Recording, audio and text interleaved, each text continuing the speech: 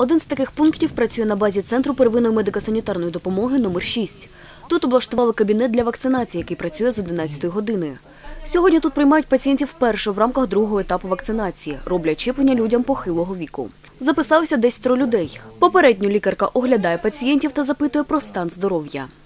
Ковідом не хворіли. Ні. Остання вакцинація коли була?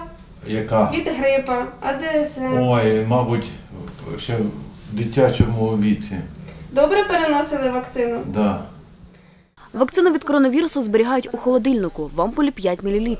Пацієнтам колять у плече пів мілілітра.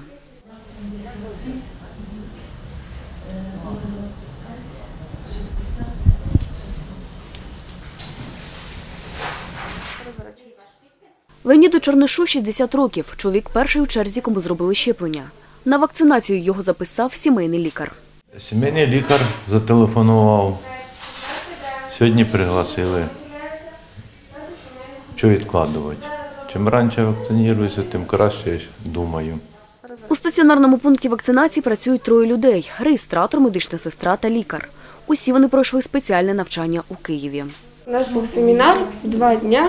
Нас е, навчали, чого з- состоїться вакцина, які її компоненти, які побічна дія, як треба її правильно зберігати, як ми все використовуємо е, всі матеріали, куди ми їх відправляємо, про побічні дії. На другому дню ми навчалися. ем, Оказувати першу медичну допомогу.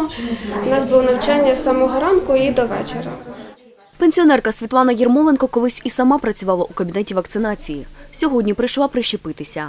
Каже, таким чином хоче вберегти здоров'я, адже має хвороби, які можуть ускладнитися у разі захворювання на COVID-19. Я попадаю під е, ті всі переліки по віку, по захворюванням, там діабет, е, серцево-сосудинні. І я вірю, що він у нас є той ковід, бо там люди, які кажуть, що його нема, що це все придумали. Він є, він страшний. Тому обов'язково треба робити оці щеплення. Півгодини після щеплення пацієнти мають чекати у лікарні. Медики спостерігають за реакцією вакцини на організм. На випадок виникнення у пацієнтів побічних реакцій у кабінеті є шафа з необхідними ліками та пристроями. мішок амбу для проведення вентиляції легень.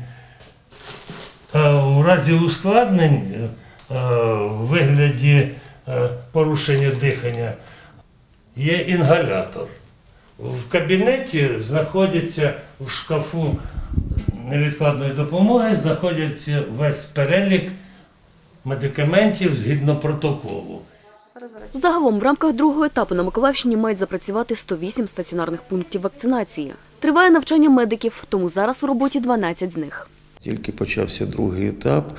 Ми розпланували так, що по кількості населення у Миколаєві більше населення, то ми підготували е, 6 пунктів у Миколаєві, один у,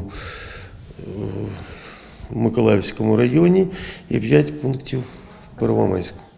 Світлана Кльосова, Юлія Філімон. Новини на Суспільному. Миколаїв.